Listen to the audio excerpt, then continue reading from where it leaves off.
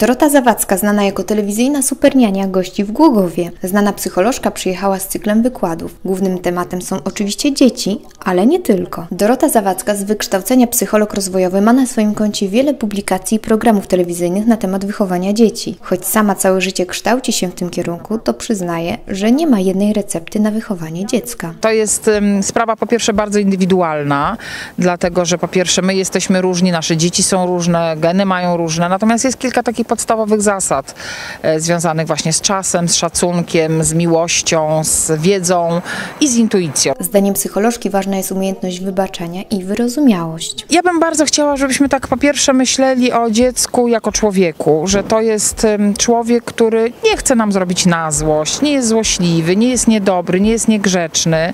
Patrzy w nas jak w lustro, bo przez bardzo długi czas, przez wiele lat jesteśmy dla niego jedynym, najważniejszym autorytetem, żebyśmy się starali e, też być dla niego tym autorytetem, wzorem i żebyśmy patrzyli z taką, e, z szacunkiem przede wszystkim, ale z taką miłością i wyrozumiałością do błędów. Podpytaliśmy też Głogowian o ich metody wychowawcze. dużo rozmawiać i no i nie wiem, mówić co trzeba, do, co dobrze zrobić, a co źle. Były tam jakieś takie małe kary, nie, ale, ale no jakoś mi się udało. Trzeba kochać dzieci, dbać o dzieci. Głogowianie będą mieli okazję osobiście podpytać supernianię o sprawy związane z wychowaniem dzieci. Będziemy rozmawiać też o wychowaniu, o autorytecie, o rodzicielstwie w takim rozumieniu em, dobrostanu wszystkich członków rodziny. 17 maja w Miejskiej Bibliotece Publicznej w Głogowie odbędzie się prelekcja z Dorotą Zawadzką. Spotkanie rozpocznie się o godzinie 18.